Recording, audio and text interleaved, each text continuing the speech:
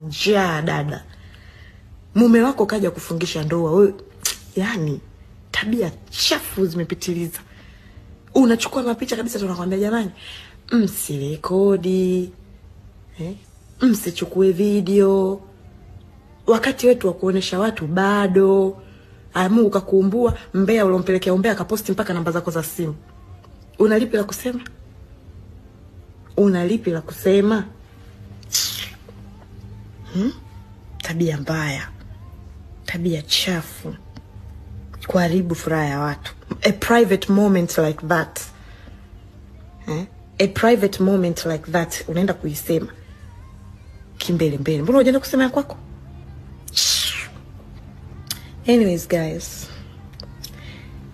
uh, sijui niwaambieje, lakini leo sina furaha ya kuonyesha sura langu hapa. Mm, Nafurahi kuona kwamba ungefunika kichwa mpenzi. Unakiona? Unaweza kunionyesha hicho kichwa unachonambia nikifunike? Aya, jina la huyo mtu, ngoja na kutumia namba, ngoja na kutumia namba. Mm. Jamani, hii piko eh? Eti pete sio nzuri sana kwenye kidole chako. Hii pete ni, ni, ni, ni, ni, ni kodi yako ya mia, mwaka na miaka minne. Hii pete hii unaosema sio nzuri kwenye kidole changu, kodi yako hiyo miaka minne. Usinitake nikuseme vibaya. Kanunue kiembe upate na wewe wakukutia pete. We koma we, acha kabisa. Mume wangu amelala, sitaki kuzungumza sana, nikamwamsha. Niache. Pete nzuri sana. We, cheza na pete yangu we, tizama Mwanamke kidore mwanamke kidore mwanamke kidore kidore na mwanamke. alo unacheza wewe. Mwanamke, mwanamke kidore, mwanaume wangu jamani, kafanya kazi haswa, kanitia pete kwa udole, upete kwa udole, upete kwa udole, jamani, upete kwa udole. Ngoja kwanza, maanake hapa hamna mwanga. Ngoja kwanza nitafute mwanga kama utakuwepo, maanake niko Dubai. Haya sio mambo yangu, lakini kwa leo ningependa ngoja,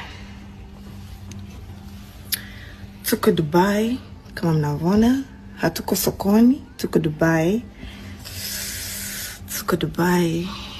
Mnapaona Dubai jamani?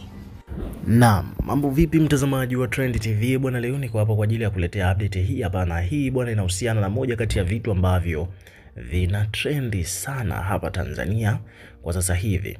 Naelewa moja kati ya story ambazo zimemeke headline to the maximum kwa sasa hivi ni kuhusiana na issue ya ndoa ya moja kati ya wafanyabiashara wanadada wapambanaji. Huyu hapa si mwingine bali ni Nifa. E, bwana Nifa amefanya jambo la kushtukiza kidogo watu, kwa sababu ni moja kati ya wadau ambao wamekuwa wakimfuatilia sana. E, yani ni moja kati ya wadau ambao wamekuwa wakifuatiliwa sana hapa Tanzania. Unaelewa, eh, katika wadau wa katika wa socialite au celebrities ambao wamekuwa wakifuatiliwa kwa karibu eh, hapa Tanzania kutokana na umaarufu wao, basi Nifa ni mmoja wapo, na amekutana na vikwazo vingi tu eh, katika biashara yake, lakini pia vile vile ameonyesha mafanikio mengi kupitia biashara hiyo hiyo. Amenunua gari ya maana tu kwa wadada hapa Bongo, nazungumzia Range Rover, lakini pia vile vile Nifa amejenga nyumba kwa ajili ya mama yake mzazi. Sasa kitu ambacho kimetokea ni kwamba inafahamika kwamba Nifa yuko katika mahusiano na siku ya jana ndipo aliamua kufunga ndoa kwa siri. Kuna wadau wanadai kwamba ndoa hii bwana imefungwa Dubai. Eh, kuna wengine wanadai kwamba ni hapa hapa Bongo, lakini all in all ni kwamba Nifa amefunga ndoa na mpenzi wake wa muda kidogo, sasa hivi ana almost zaidi ya miezi minne mitano au sita hivi, ambaye ni mfanya biashara pia vile vile wa simu. Wamefunga ndoa rasmi na huko mitandaoni bwana, stori zimetrend sana, na moja kati ya stori ambazo zimetrend ni kuhusiana na mambo mazito ambayo yamekuja au yametokea baada ya ndoa hiyo kufungwa. Kama ulivyoona hapo mwanzoni, kuna hiyo video nimekuonyesha hapo Nifa akiwa anamchamba e, kuna mdada anachambwa kidogo, na sababu ya huyu dada kuchambwa ni kwamba huyu dada bwana, inasemekana huyu dada anayechambwa sasa, namaanisha kwamba inasemekana kwamba yeye mume wa huyo dada ndiye alienda kuwafungisha ndoa, yaani mume wa huyo dada ndiye alienda kuwafungisha ndoa Nifa na huyo mpenzi wake. Sasa kitu ambacho Nifa alikuwa amekiweka kama reminder kwamba jamani, eh, tufungu, tufunge ndoa kwa siri na hizi picha na video zisije zikavuja, wenyewe bado hatujaamua kufanya hili swala liwe la public. Umeelewa? Hayo ndo makubaliano. Kwa hiyo mke wa huyu mfungaji mfungashaji ndoa alikuwepo. Sasa inasemekana kwamba yeye ndiye aliyevujisha hizo picha na video za Nifa wakati anafunga ndoa na mpenzi wake huyo. Umeona bwana, so hivyo ndivyo mambo yalivyo sasa. Huku mitandaoni kumeibuka mjadala mzito, picha zilivuja, nifaa hakuwa tayari hizi picha zivuje eh, lakini pia vile vile picha na video.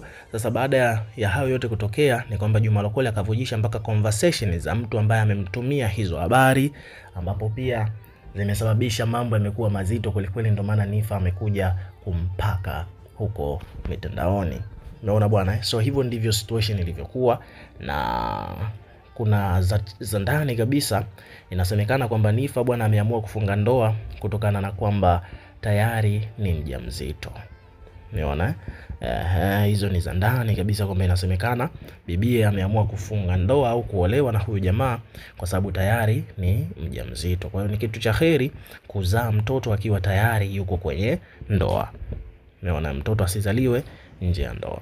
So hivyo ndivyo mambo yalivyo. Sasa hapa kuna peji tofauti tofauti zimekuja kuripoti, lakini pia vile vile kuna peji ya Juma Lokole ambaye ameposti conversation akiwa anajadili au akiwa anatumiwa huu umbea na huyo mtu ambaye alikuwepo au alihudhuria katika hiyo harusi ya Nifa na huyu mpenzi wake, ambapo Juma kaposti, kuna mtu amemtumia message WhatsApp, ameandika Juma Juma us, us, usiposti namba yangu tafadhali. E, naombea Nifa na OG wameshaoana. Huyu mm -hmm. Juma akajibu kwamba mm, wewe mtoto jamani, muongo. Akamtumia picha, unaona eh? Juma bwana akatuposti hiyo conversation, akaposti na picha vile vile, akaendelea kwamba bwana, nimebaki na swali lakini kabisa, ila usi, usini usinitaje Juma please akaendelea hapa kuandika kwamba eh, kama ya P ameandika hivyo. Akaendelea kusema kwamba bwana, wazazi si waoni kwenye ndoa jambo kubwa kama hilo, kwamba sababu bwana, kwani wazazi ndo ndoa? Huyu akaja kujibu. Juma aliuliza hivyo kwamba wazazi mbona siwaoni kwenye jambo kubwa kama hilo la ndoa, huku eh, ni kwamba huyu mtu aliyemletea udaku Juma Lokole akaandika kwamba kwani wazazi ndio ndoa? Juma akasema kwamba bwana, vyeti vya ndoa viko wapi? Pengine anatengeneza mashera huko. Kuna mtu huko akaja akajibu kwamba Juma, mambo yanaenda kisasa eh, na ni kimya kimya, we sio kwa sio kwa Nifa. Kuna mtu amekuja, Juma akaja kujibu hivyo, akaendelea kusema kwamba kwani wazazi wa Nifa wako wapi mpaka binti yao anaolewa kimya kimya? Huyu ameuliza hivyo. Huyu mdaku akaja akasema kwamba e, bwana mpya hiyo au ulikuwa nayo huku. Juma akasema kwamba bwana, mama yake yuko wapi? Anamuulizia sasa mama wa Nifa yuko wapi? Huyu bibi huyu bibie aliyekuja kuleta huu udaku akasema aka akacheka, ha, wapo Tanzania. Huyu Juma akauliza, kwa hiyo kaolewa bila wazazi kujua? Kauliza hivyo. Huyu huku mdaku akaja akasema kwamba bwana, hiyo ni Dubai, ficha namba please. Ameandika hivyo, alafu akaendelea kusema kwamba wanajua, wanajua, kwani huyo si mchumba wake? Huku Juma akasema kwamba bwana, swala sawa, ila wazazi wako wapi? Dubai ni hapo tu e, wala si mbali. Alafu akamalizia kwamba bwana, mm, ngoja kwanza aviniingia akilini. Hicho ndo kitu ambacho Juma alimalizia kwa kusema hivyo. Umeona bwana, sasa hizi conversation bwana, Nifa hii namba anaijua. Kachungulia akaona kwamba hii namba anaijua, ndio maana akaja akamchamba huyo bidada baada ya kuvujisha hizi habari, kwa sababu Nifa yeye mwenyewe alitaka hii issue iwe very private kwa sasa hivi. Sasa baada ya haya yote kutokea bwana, kumbe ukweli umefahamika kwamba hii ndoa bwana imetake place huko. Eh, imetake place Dubai e, na inavyoonekana ni kwamba wazazi hawakuwepo au hawakuhudhuria kwa namna moja au nyingine. Umeona bwana, so hivyo ndivyo mambo yalivyo. Umeona, lakini Nifa mwenyewe hajapendezwa na hiyo tabia, kwa sababu alitaka ili swala liwe kidogo kwa siri au liwe private kwa sasa hivi, lakini watu wachache ambao walikuwepo, mmoja ndo hivyo karekodi na akaposti akamtumia Juma Lokole. Juma Lokole karuka nayo chap. E, Nifa sasa ameiona amekuja kumsuuza.